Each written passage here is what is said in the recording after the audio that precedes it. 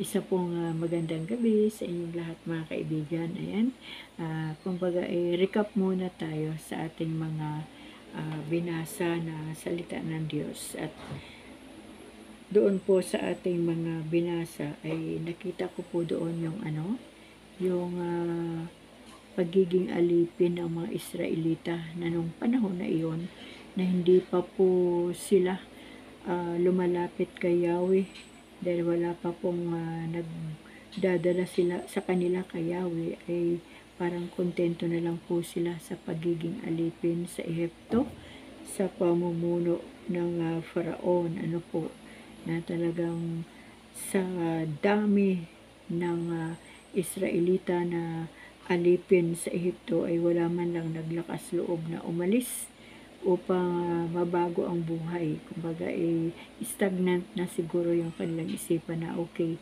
hanggang dito lang tayo sa pagiging alipin. Ang malaga ay hindi po sila nagugutuman. Baka yun na lang po ang mindset nila. Ano po?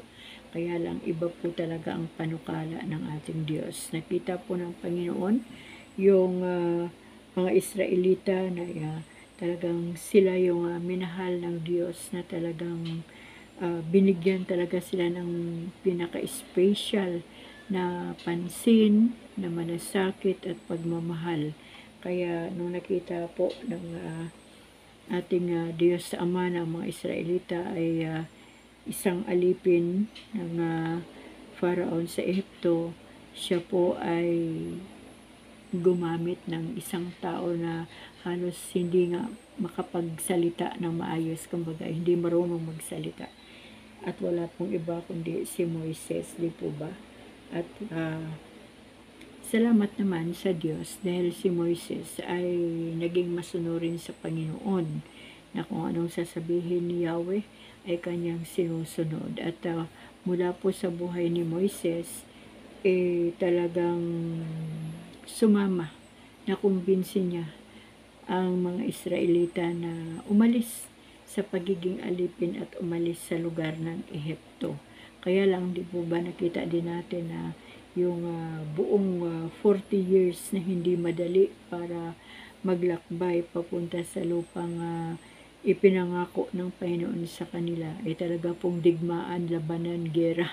Kumbaga ang bawat ah, pinagdadaanan nila at mula kay ah, Moises napunta kay Aaron kumbaga hindi si Moises ang nanatili lang na kanilang leader. Kumbaga ay ah, paiba-iba na hanggang napunta kay David. Kumbaga marami na po ang ano ang nangyari ano po. Ang nais ko lang po ditong tignan yung pagiging alipin. Ayan kahit man po sa kapanahonan natin mga kaibigan ay marami, marami pa rin po nga alipin. Hindi po lamang sa pagiging alipin na para bang ah, alipin ka ng kahirapan o para bang alipin ka ng mga mayayamang tao alipin ka ng ah, mga may kaya sa buhay bilang ah, kanilang mga kasambahay, mga ganon. So, ngayon, ang nakita ko po dito mga kaibigan, kung ang Israelita ay ah, sumunod kay Moises at nakinig kay Moises sa mga instruction ni Yahweh na pinasasabi ng Panginoon sa mga Israelita. Napakapalad po ng mga Israelita kasi nakinig po sila kay Moises. Ano po, kung anong pinasasabi ng Panginoon ay nire-relay naman ni Moises sa mga kababayan niya at nakinig. Kasi kung hindi sila nakinig, hindi po sila nakumbinsi ni Moises na umalis sa Ehipto. Ano po, eh buti sana kung mga sampung libo lang sila. Eh, hindi po eh. Napakadami po nila. Kaya yun po ang kagandahan doon sa kapangyarihan ng Panginoon na ang mga Israelita ay nakinig at sumunod. Yan. Sa buhay po naman natin bilang isang tao, ano po, meron po akong uh, isang pamilya na ibabahagi sa inyo. Sila po yung pamilya na napakasipag na mga pamilya. Kaya lang, sila din yung mga pamilya na uh, sabihin natin uh, hindi biktima eh. Kundi galing din sila sa angka ng uh, napakahirap na, na pamilya. So, hindi rin sila nakapag-aral kasi naging alipin din sila ng sitwasyon ng buhay na mahirap. So, nung ah, nag-asawa po itong ah, babae at lalaki na ito, ay nagkaanak din po sila. At yung mga anak po nila ay hindi rin po lahat ay nakapag-aral. Kumbaga, yung iba ay hindi nga nakapag-tapos ng elementary at yung iba naman ay ah, undergrad ng high school. Kumbaga, eh, andoon pa rin po yung ah, pagiging tatak ng ah, kahirapan na talagang yung yung tatay, yung nanay ay inuupahan para magtrabaho sa sa bukid, inuupahan na magtrabaho sa mga kung ano na lang, tagatabas ng mga mga damo. Basta yung mga mahirap na trabaho ang ah, alam nila na kumbaga eh, titiisin kahit kaano kabigat, gaano kahirap para mabuhay ang pamilya. Ngayon, nakita ko po doon sa kanilang mga anak na meron pong biglang ah, mga nasiraan ng bait mga kaibigan. Talagang ano, ah, parang tatlo yata na magkakapatid na talaga mga dalaga na na isa-isang nasiraan ng bait. Tapos, yung mga anak na, yung mga apo na nung mag-asawa, ay ah, hindi rin po naging maayos. Kumbaga, yung mga apo pumunta rin sa Maynila para po mag ah, pumasok ng kasambahay. Hindi po natin nililiit ang mga kasambahay. Ano po, kaya lang bilang ah, gaya ko, isa na rin ako magulang, siyempre lahat po tayo ng mga magulang ay nangangarap po tayo na mapaganda, mapaigi ang ah, buhay ng ating mga anak. So, ang ating ah, ina-advise isa lang, mag-aral ka, magtiis ka, magsumikap ka, magtapos ka para pagdating ng panahon ay ah, ma provide mo yung ah, pangailangan mo. At pag nagkapamilya ka, ay ah, hindi mahihirapan ang iyong pamilya. So, ganyan po ang ating mga advice sa ating mga anak. Ano po. Ngayon, noong mga panahon po na 1990s, ay ah, pinuntahan po sila ng mga anak ng Diyos para po ibahagi ang salita ng Diyos at the same time ay maipakilala ang Panginoon sa buhay ng mag-asawa ganun din sa kanyang mga anak, mga manugang at mga apo dahil mga nakakaintindi na po eh. Hindi naman na po masyadong bata yung mga miyembro ng pamilya na yon. Ang mga bata lang doon ay yung mga abo, apo dahil may mga baby pa. Pero alam niyo mga kaibigan, yun ang pinaka-sad na sad news na kanila pong nireject ang Panginoon. Nireject nila ang salita ng Diyos. At ah, parang kontento na sila doon sa panahon na kapag nagkapera sila, iinom-inom lang sila sa hapon ng mga kung anong inumin, matutulog sila, at ah, okay na. Kumbaga, eh, hanggang doon na, di baling alipinin sila ng mga may pera, kaliwat kanan na utos na may ah, kalakip na bayad na hindi naman talaga sakto doon sa pagod nila, ay parang kontento na sila. Pero, ang nakita ko nga po nung uh, nireject nila ang Panginoon, yun nga po, nagkaroon po sila ng mga uh, nasiraan ng, ng bait, parang mga nabaliw na anak mula po nung nireject nila ang Panginoon. At uh, hanggang sa ngayon po mga kaibigan, hindi po sila nakalaya. Ang mga Israelita po ay nakinig kay Moises, na kahit man po may mga namatay sa labanan, pero ang malaga doon, yung angkan, yung mga huling henerasyon ay hindi na maranasan yung mga naranasan ng mga naunang mga Israelita, kumbaga ay napaayos. Yun po yung maganda, yung mapaayos. Kaya lang, ang malungkot dito yung hanggang sa kaapu-apuhan ngayon, ay nakikita pa rin po namin yung uh, pagiging alipin, alipin sa kahirapan, alipin sa problema, alipin sa problema sa pamilya, kumbaga. Kaya, yun lang po ang nakita ko mga kaibigan, na kapag ang isang tao ay ayaw lumaya sa kinasanayan na niya na buhay at ayaw niyang bigyan ng panahon ang Panginoon at nireject pa niya ang Diyos ay talaga pong hindi po makakaahon po sa sitwasyon na kanilang kinasasadlakan. Alam niyo po, ang mga Israelita ay talagang kahit anong tawag dito, kahit reklamador, pero ang Panginoon naman, sa kanilang leader na si Joseph naman, ay si Moises naman, ay uh, nakikipag-usap ang Panginoon. At kapag nakipag-usap ay uh, inire-relay uli ni, Diyos, ni Moises kung ano ang uh, mensahe ng Panginoon at makikinig na naman uli ang mga Israelita. At kapag nakaranas na naman sila ng gutom o hirap, ay kanila namang aawayin si Moises, susumbatan at sisisihin. Ano po? Ang kagandahan lang po dito, yung puso ni Moises ay hindi po nagbago yung malasakit niya sa kanyang mga kababayang Israelita. At itong puso ni Moises at ang karakter ni Moises ay masunurin sa Panginoon na kung ano ang nais ng Diyos na ipaabot sa mga Israelita, si Moises po ay hindi nagpapabaya. Talagang ginagawa niya kung ano man yung iniuutos ni Yahweh sa kanyang buhay. Ang isang nakita ko po doon, siguro yung nagdala ng salita ng Diyos at nagpakilala sa kanila na meron tayong Diyos, may Panginoon andito ang Panginoong Hesus natin kumakatok sa inyong puso. Siguro doon sa una, pangalawang rejection, siguro mga kaibigan kung ako yun, no? kung ako lang, ang uh, nasa lugar ng mga mga naunang mga lingkod ng Panginoon sa lugar na yon siguro hindi ko tatantanan kumbaga eh, hindi ko tatalikuran talagang gagawin ko ang lahat para masolwin ang buong pamilya na yun kasi napakarami nila mga kaibigan. Sunod-sunod ang mga anak. Tapos yung mga anak ay nanganak din uli. Sunod-sunod. Ay hindi ko po alam sa panahon ito kung yung mga apo nila ay uh, meron na rin mga anak dahil medyo matagal na po kami na hindi nagkikita.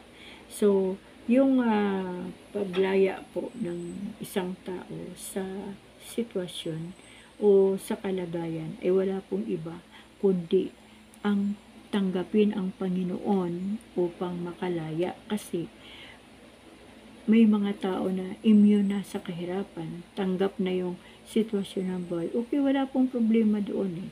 Kung kontento ka sa kahirapan, walang problema doon. Kaya lang, kung mahirap ka na, tapos hindi mo pa kilala si Kristo, paano na?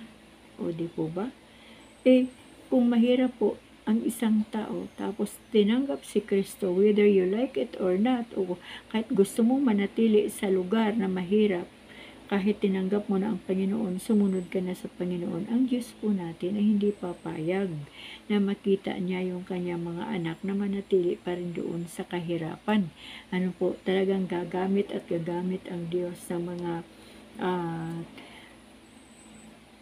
karunungan na ibibigay niya sa mga tao na kanyang pinili na magdala ng magandang balita doon sa mga tao na tumanggap na kay Kristo. Kaya nga, ang isang tao, nagiging uh, maayos lang yung kanyang mindset, nagiging maayos lang yung kanyang puso, yung kanyang isipan, yung lifestyle, kapag nakakakilala na sa Panginoon. Yan po ang katotohanan na ang buhay ng isang tao ay makakaahon lang po tayo kapag tayo po ay nakinig ng salita ng Diyos at pagkatapos nating makinig ay isinasagawa natin at pagkatapos isagawa ay nagiging uh, buhay na po tayong patutuo sa mga hindi pa tumatanggap kay Kristo. At kapag tayo po ay buhay na patutuo na sa kanila ay talagang nagkakaroon po sila ng kaisipan na, tika muna, itong taong ito ay kaklase ko lang yan sa kahirapan ng araw. Itong taong ito ay mas, medyo masarap pang ayong uh, kinakain namin. Pero bakit ngayon parang ang sigla-sigla niya, ang saya-saya niya, at parang uh, hindi na makita sa kanya yung anino ng kahirapan. Bakit? Kasi nakakilala na sa Panginoon at ang Diyos na ang inaasahan sa buhay. Kaya alam niyo mga kaibigan, ano, medyo nakakalungkot man isipin na maraming tao ngayon na ayaw pansinin si Kristo. Ayaw pansinin ang salita ng Diyos. dahil mas marunong pa sila sa Diyos, meron silang rason sa uh, Panginoon kung bakit ayaw nila sa Diyos. Pero kung alam lang ng tao na ang Diyos ay nais na makagalaw sa buhay ng taong wala sa Panginoon para magkaroon ito ng tunay na relasyon sa Panginoon, tunay na pananampalataya upang makaalis po doon sa sitwasyon hindi tama. Ano ba ang ginagawa ng tao o yung isa sa pamuhay ng tao ng mga mga sitwasyon? Okay. Kung sugarol ka at nakilala mo si Kristo, isinuko mo ang buhay mo sa Kanya, nagsisi ng kasalanan, at uh, isinapamuhay mo yung salita ng Diyos, e darating at darating po ang isang umaga na ayaw mo nang magsugal, ayaw mo nang magsabong, ayaw mo nang magkasino, ayaw mo nang magtungits, basta ayaw mo na. Yan po yung mga alipin sa bisyo. Ano pa bang ibang bisyo? Ang paglalasing. Alam niyo po, may uh, patotoo po ako sa inyo kahit hindi pa po ako born again ang panahon na yun, mga kaibigan. No? Dahil nag-asawa po ako, eh, 20 lang po talaga ako. Pero lingid din po sa kaalaman ng aking mga magulang dahil ako nga po ay uh, sa aking uh, na-share sa inyo na kwento, ako po ay pantsimbag sa pamilya. So, yun po mga sigarilyo doon. Ultimo nga po yung tabako ng nanay ko eh, kapag ako po ay nasasaktan, ay uh, sinisip-sip ko po lahat yun, yung mga tabako, plus po yung mga paninda ng nanay ko na mga uh, uh, gin, yan, yung mga alak, mayroon pa po mga tanduay, may mga syok tong panong araw. Yan po ay uh, kinukuha ko na walang paalam. Sabi natin, niyanakaw ko doon sa aming maliit na tindahan at dadalhin ko po doon sa school nung ako'y high school pa. At ako po ang nagturo sa aking mga pinsan na uminom. Yan po ang isang bagay na nagawa kong uh, sobrang mali. Kaya lang, papaano ko malalaman na mali kung hindi ko pa nga kilala si Kristo at hindi ko pa na babasa ang Biblia at wala pa po akong nauunawaan sa pagiging Kristiyano. Pero, mga kaibigan, ano, yung uh, alipin sa, sa bisyo, nung ako po ay uh, nagbuntis na sa aming panganay, that was 1984 uh, na, So, nung nalaman ko ngayon na ako ay uh, buntis na, kinabukasan po ay itinigil ko po ang sigarilyo at itinigil ko rin po ang alak. Yung alak po ang medyo matagal-tagal na nakawala sa akin kasi the more na ako po ay uh, nasasaktan ng kalooban ko, nalulungkot ako, may problema ako kasi malayo na nga ako sa piling ng aking uh, mga pamilya eh, yung alak po ang nagbibigay sa akin ng lakas ng loob. Parang ginagamot niya yung uh, kalungkutan ko sa buyan. Ganyan po yung uh, uh, karakter ng isang tao na hindi pa po talaga totally na kilala ang Panginoon. So, salamat sa Diyos kasi ako rin yung uh, tao na binigyan din ng uh, karakter ng Panginoon na pag sinabi kong ayoko na, ayoko na po talaga yan. Kumbaga eh, hindi ko na po talaga yan uh, gagawin pa ang bisyo na yan. So, natanggal po sa akin yung um, tawag dito, sigarilyo. Natanggal din po yung uh, pag-inom. Yan, kami magpipinsan. Ay, Diyos ko Lord, sorry naman.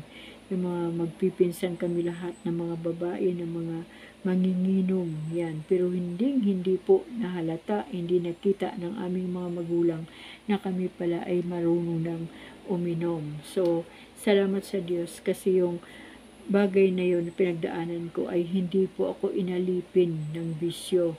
Kumbaga, eh, hindi kinaya ni Satanas yung uh, power ng Diyos sa buhay ko na bagamat hindi ko pagkilala si Kristo. Pero, natitiyak ko na ang Diyos ay kasama ko na ng time na yon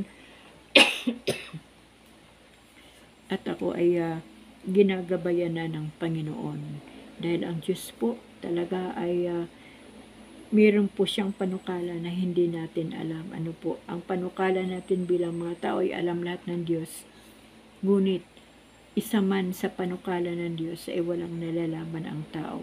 So, ano pa ba ang mga pagkaalipin, ang mga pang-aalipin sa isang tao? So, uh, pag-inom, pagsugal, pambababae, panglalalaki, ano pa ba, ah, yung pagiging marites, ayan, ah, alipin ng ah, ah, fake news, yan, ano pa ba, alipin ng kasinungalingan, alipin ng kayabangan, alipin ng ah, kasamaan. Yan po yung ah, kapangyarihan ni Satanas ang siya nang aalipin sa tao. Kaya kailangan po nating lumaya sa pagkaalipin mga kaibigan. Ngayon, kung gusto nating lumaya, ay kailangan po nating isuko ng totohanan ng ating buhay sa Panginoon, magsisi ng kasalanan, ng totohanan na pagsisisi na kapag sinabi mo sa Diyos na Panginoon, pinagsisisihan ko lahat-lahat ng uri ng kasalanan na aking ginawa mula pa noong bata ko hanggang sa kasulukuyan, Panginoon, pinagsisisihan ko po ang lahat ng kasalanan na nagawa ko ngayon. Kapag pinagsisisihan na po natin, eh, iniwan na po natin. Iwag na po nating uh, kawayan uli para uh, bumalik tayo uli doon sa uh, kasalanan. Ang tunay pong pagsisisi ay yung hindi na po natin gagawin pa uli. At kapag nakita ng Diyos na talagang gusto na nating makawala, makakalas ng lubusan sa kapangyarihan ng kaaway, ano po, ng Diablo, ay tutulungan naman po tayo ng Panginoon para tayo po ay tumibay doon sa ating determinasyon, paninindigan na hinding hindi nat natin gagawin pa ang isang bagay na mali na nagbubunga ng kasalanan at ang kasalanan ay nagbubunga ng kamatayan. Yan ang katotohanan mga kaibigan. Ngayon, kapag hindi po lumaya ang isang tao sa kanyang bisyo o kahit man sa kahirapan ng buhay na yung ando yung pride na yung ang hirap-hirap na ng buhay mo halos araw-araw puro na lang disabog na asin ang uh, uh, ulam mo at mga kung ano-ano na lang ano po ang ulam mo tapos ayaw mo pa rin kilalanin si Kristo.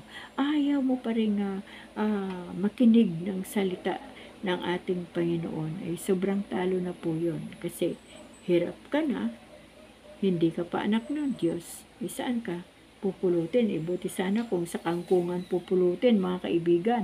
Eh ang problema, eh kung sa impyerno pulutin. Ano po? So, yun mga kaibigan, kailangan po nating lumaya. Saan pa ba tayo pwedeng lumaya? Ayan, sa sama ng loob, sa galit, sa puot, sa hinanakit. Yan.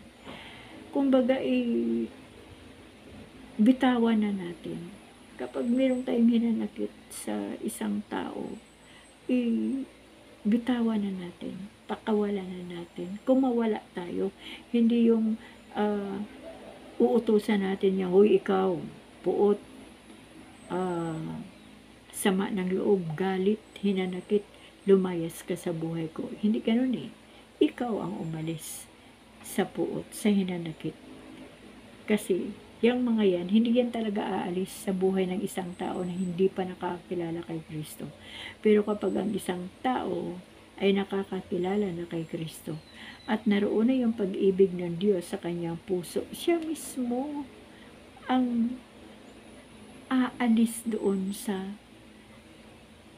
sitwasyon ng sama ng loob, galit, puot, hinanakit, tampo. O di po ba? Eh, kung ang tukso ng kasalanan ay sinasabi lang natin na tukso, layuan mo ako. No, hindi yan lalayo ang tukso mga kaibigan. Maniwala kayo. Lalong lalapit yan ang tukso kapag sinabi nating lumayo ka pero kapag tayo ang lumayo sa alipin ng tukso, eh tiyak, hindi siya makakahabol sa atin. Bakit? Kasi meron na tayong pananggalang in Jesus' name. Yan, sa pangalan ni Jesus, Espiritu ng tukso, lumayas ka. Huwag na huwag kang lalapit sa buhay ko. Kasi hindi na kita kaibigan, hindi na kita inaanyayahan, hindi na tayo magkaklase, hindi na tayo magkasama sa mga ah, sitwasyon ngayon ng buhay ko kasi bagong buhay na ito na si Jesus na ang may tanga ng buhay ko at siya na ang nagmamaniobra ng aking buhay. So ito si Tukso, siyempre malulungkot siya, grabe naman dati pag sinabi kong uh, uh, magsugal ka, pag sinabi kong uminom ka, pag sinabi kong mambabae ka, ma manlalaki ka, pag sinabi kong mang-scam ka, sunod ka lang ng sunod. Tapos ngayon, ayaw mo na kasi nga nais ng Diyos na lumaya tayo sa pagiging alipin o lumaya tayo sa pagkaalipin ng gawa ng Diablo. Kaya yan mga kaibigan, ang dapat po nating tandaan. Alam niyo po yung kunikwento ko sa inyo na isang pamilya hanggang ngayon trouble. Matatanda na. Kumbaga eh, mga lola na, mga baka mga 70 plus na sila, almost 80 na sila. Pero hindi po sila nakatikim ng maayos at magandang buhay. Talagang hanggang sa sa last breath pa yata ay uh, mamamatay sila sa kahirapan. Pero sabi ko nga, sana naman may magtiyaga pa rin na pumunta sa kanila o either yung kanilang mga anak, mga apo, sana man lang ay mayroong magtiyaga na magbahagi ng salita ng Diyos upang sa ganon yung mga huling henerasyon ay mabago naman ang kwento ng buhay. Ano po? Kaya sa mga lingkod din ng Panginoon, dapat magkaroon din po tayo ng burden, yung malasakit talaga na totoo, yung compassion talaga na talagang dinarama ng ating puso, yung habag, yung awa, at yung uh, pangarap na uh, aalisin ko talaga ang uh, taong ito sa sa sitwasyon na mahirap sa pagiging alipin sa bisyo, dapat meron din pong determinasyon ang mga lingkod ng Panginoon na nagbabahagi ng salita at nagkakaroon ng time para mag-home visitation para lang masolwin ang mga tao. Kaya mga kaibigan, tayo po ay uh, patuloy na manalangin sa ating Panginoon. Patuloy po tayong uh, magbasa ng salita ng Diyos. At hilingin po natin sa Panginoon na maging matibay tayo sa ating pananalig at pananampalataya sa ating Panginoon. Pero mas masaya po tayo kapag ang ating pong buhay ay nag nagpapagamit sa Panginoon o kaya ay may ginagawa tayo para sa Panginoon. Yan po yung pinaka-exciting ng uh, uh, buhay sa mundong ito kapag tayo po ay may ginagawa sa ating Diyos. Hindi po exciting yung masarap na ulam. Hindi po exciting yung makapag-travel tayo sa iba't ibang lugar. Hindi rin po exciting na totoo yung uh, mga bagay na nakakanta natin. Lalong hindi po exciting ang mga salapi na yan dahil ang tunay po na excitement ay yung tayo po ay may ginagawa sa Panginoon. O di ba mga kaibigan, kapag meron tayong nasusuluyan, nababahagi na ng salita ng Diyos, meron tayong na ipapanalangin ng mga uh, kababayan o mga tao na uh, nangailangan talaga ng uh, panalangin o Di po ba? Ang sarap-sarap uh, uh, damhin sa ating uh, kalooban na nagagamit po ang ating buhay sa pamagitan po ng panalangin at sa pamamagitan ng ating ginagawa ay mangyayari at mangyayari po na meron pong maiaahon ang Diyos sa mga uh, tanikala ng buhay nila. Kumbaga yung mga nakatanikala sa sa kanilang mga ginagawa na hindi tama sa Panginoon kaya naroon po yung ano eh, yung uh, pag-ibig ng Diyos na talagang uh, alisin ng Diyos sa pagkaalipin ng tao. Alam niyo po, katatapos lang ng ating Holy Week, di po ba? Sinabi ng Panginoon, kahit basahin na natin yung buong uh, uh, New Testament ano sa panahon ni Jesus Christ, sabi ng Panginoon ay tinapos niya na lahat. Kaya nga nag-alay na siya ng buhay. Kaya nga po napako na siya sa krus ng Kalbaryo. Kaya nga po hinagupit na siya na talagang kulang na lang na karnihin siya. Dahil nga po ganun po ang pag-ibig ng Diyos dakila at nais niya pong tubusin sa pagkaalipin ang tao at kanya nga pong buhay, ang kanyang dugo, ang kanyang pinangtubos para lubusan ng makalaya ang tao. Ano po, kaya lang ang tao kahit pinapalaya na ibumabalik pa rin. Eh, sana naman, no turning back, no turning back. Kumbaga, eh, patuloy na lang na sumunod kay Kristo at talikuran na yung pagiging alipin ng uh, kaaway. Ano po. Kaya mga kaibigan, hindi ko na po ito pakakahaba-habain pa. Wala pa akong kinote na Word of God, kundi ang inalala ko lang po ay kung paano po inalis ng Panginoon sa pamagitan o pangunguna ni Moises at ng iba pang mga naging hari, ano po, ang mga Israelita ay naalis o inalis ng uh, lubusan ng Diyos sa lugar ng Ehipto at wala na po silang tatak na pagkaalipin hanggang sa panahong ito ang mga Israelita ay uh, matataas ang dignidad. Ibinalik ng Diyos sa kanila yung dignidad nila bilang mga special na anak ng ating Panginoon. Kaya ang pagiging uh, alipin po ng kahit anong sitwasyon ay pinapawi po yan ng Panginoon yung tatak na yan. Ako, kunyari ako, uh, yan sarili. Nung araw, alam niyo po, Grabe po ako mag-comedy mga kaibigan. Grabe po dahil ang aming mga magulang ay mga komedyante. Ngayon namamana namin. Yung kung ano lang na salita para lang makatawa yung uh, mga kaklase. Ultimo yung mga matatanda. At ang tatak na yan na pagiging komedyante ko, parating pa lang ako kunyari doon sa pagoda o sa isang lugar sa school, andoon yung mga kaklase ko na talagang sanay na sila sa aking ugali. Parating pa lang ako lakad ko pa lang, hindi pa ako nagsasalita, natatawa na sila. Bakit? Kasi nakita na nila sa akin yung pagiging tatak ko na komedyante, kumbaga eh, yun ang umaalipin ng aking pagkatao, yung aking pagiging komedyante. Eh, okay sana kung walang pagkakamali sa salita. Lahat ng uh, uh, salita na hindi nakalugod-lugod sa Panginoon ay uh, lumalabas sa aking mga bibig para lang makapagpasaya ng panahon na yon.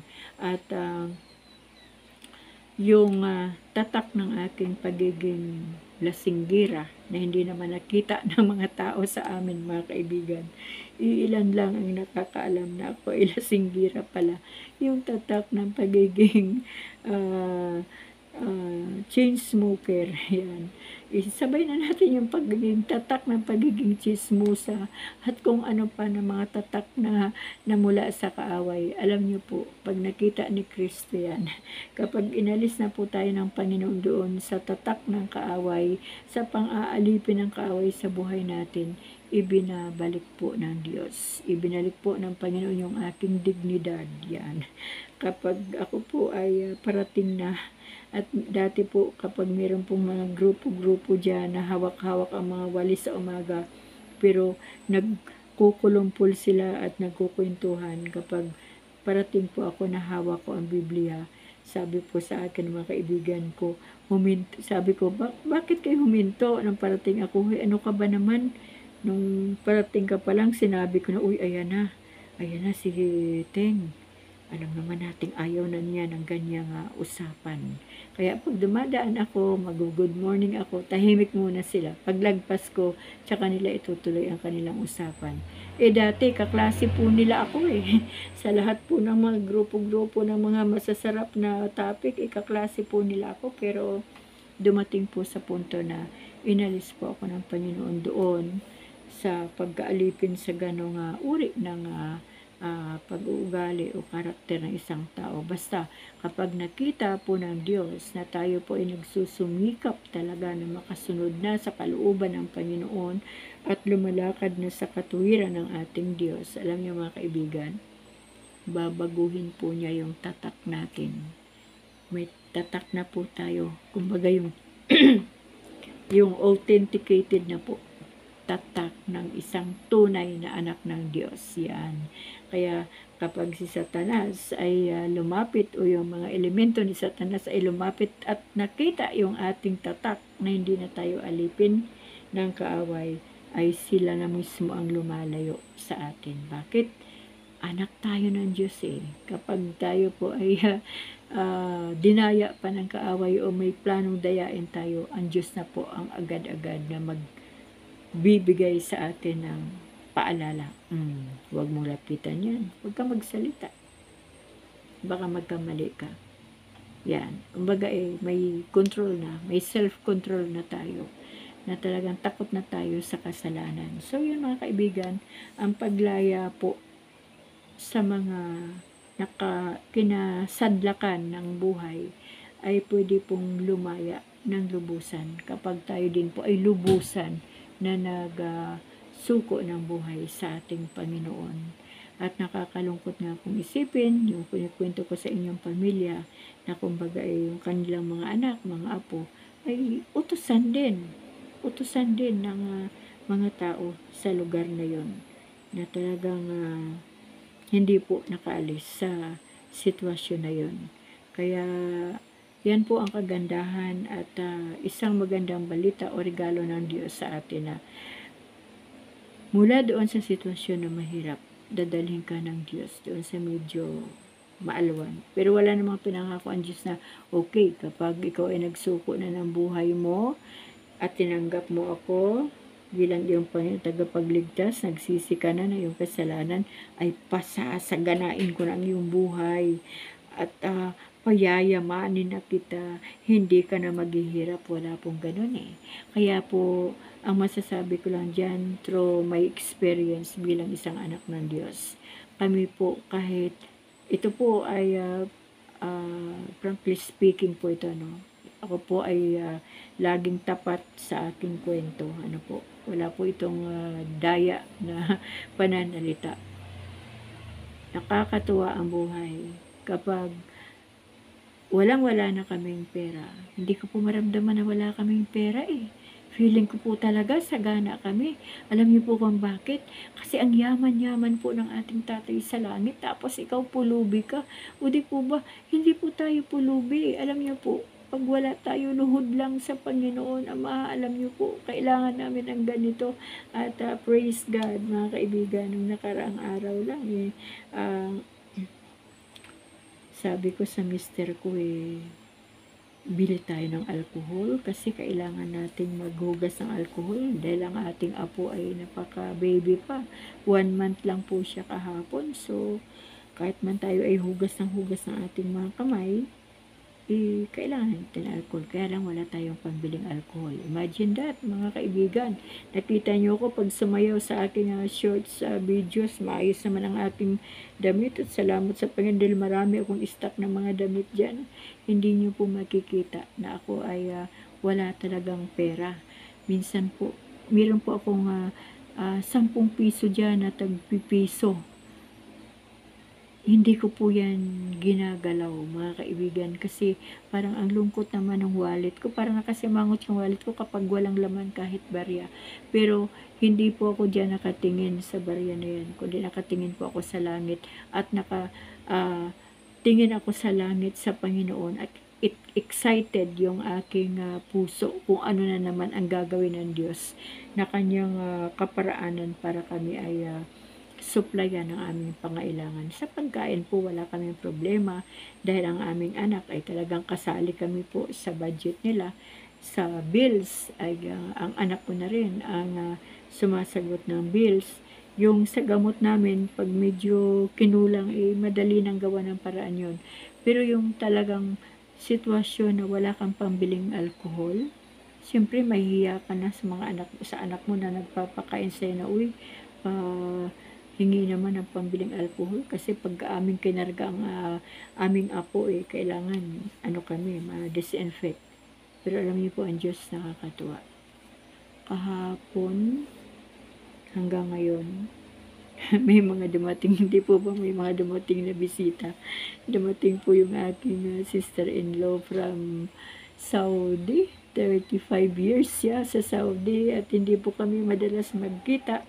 At uh, yun nga po ang patotoo ko ng aking uh, sister-in-law na bunso ay uh, nag-dibo uh, po kagabi. Kumbaga eh, uh, welcome to the club na ng senior citizen ano po. At nagkaroon po ng uh, okasyon na masaya sama-sama po ang pamilya. At yung amin pong uh, kapatid yung aming hipag from Saudi at doon po po sila galing sa La Union ay ginamit po siya ng Panginoon para po ah, magkaroon kami ng pambiling alcohol. At hindi lang po alcohol ang mabibili. Kumbaga eh makakabili pa po kami ng gamot na mag-asawa.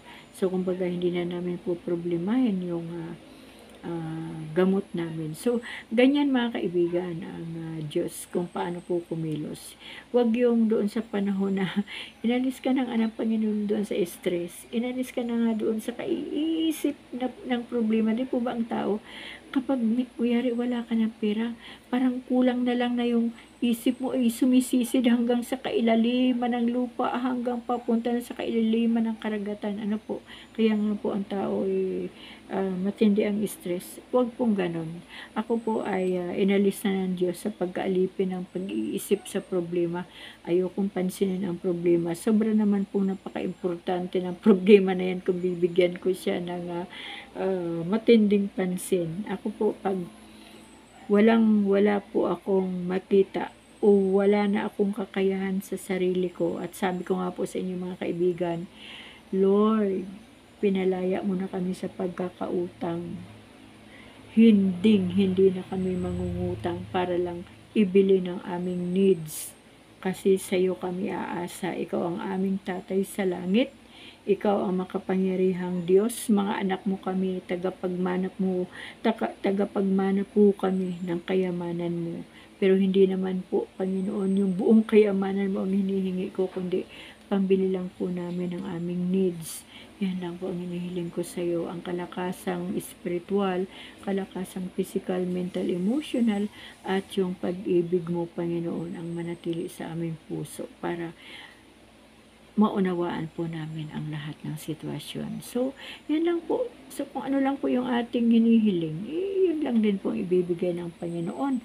Alam niyo po, ayoko humiling ng uh, marami na pang, na pang one year o pang two weeks, pang one week. Kasi, kapag meron na po tayong uh, pang one year, pang two weeks, pang two months, baka po makaligtaan na natin ang Panginoon na kausapin araw-araw. Pero kapag araw-araw po ay nagpo-provide ang Lord, ay masarap po na tumawag sa Panginoon. Hindi po natin siya makakalimutan. Ano po? So, yan po ang ano mga mga sitwasyon ng buhay na uh, siguro doon ang, ang iba siguro sa mga kwento ko ay uh, uh, relate sila. Pero tandaan niyo mga kaibigan, kapag tayo ay anak ng Diyos, hindi po tayo pulubi mga kaibigan. Hindi po tayo mahirap. Mayaman po tayo sa habag ng Diyos. Napakayaman po natin sa salita ng Diyos. At ito po ang gagamitin natin. Napakayaman po natin sa pananalangin dahil tinuturuan tayo ng Holy Spirit ng mga bagong panalangin. Yan po yung ating tools. Higit sa lahat ang ating pananampalataya sa Diyos. Kasi kailangan ang ating panalangin ay laging may kalakip na pananampalataya. Dahil sa pamamagitan ng ating pananampalataya sa Diyos, doon kikilos ang kapangyarihan ng Panginoon.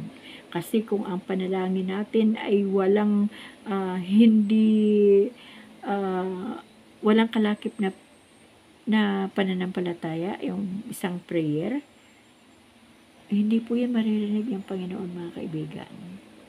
Kasi hindi po yan makakarating sa kanyang uh, trono ng kanyang biyaya. Yan po ang mga sekreto. Kaya nga po lagi kong sinasabi sa inyo na magbasa, magbasa, magbasa tayo ng salita ng Diyos. Kasi napakaraming sekreto ang Diyos diyan sa Biblia. Napakaraming mga pangako, napakarami pong mga blessing. Ang salita po ng Diyos, ang susi para makalaya po tayo sa lahat ng sitwasyon. Kahit man po sa boredom, yung pagkainip, yung stress na yan, palalayaan tayo ng Panginoon kapag natuto po tayo magsalita, magbasa ng salita ng Diyos dahil ang Holy Spirit po ang magpapaunawa sa atin mga kaibigan.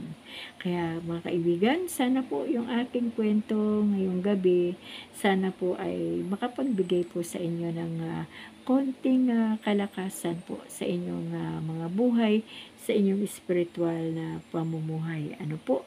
Kaya salamat po sa Panginoon sa kanyang pangungusap ngayong gabi sa akin. Alam niyo po, naliligo lang ako eh.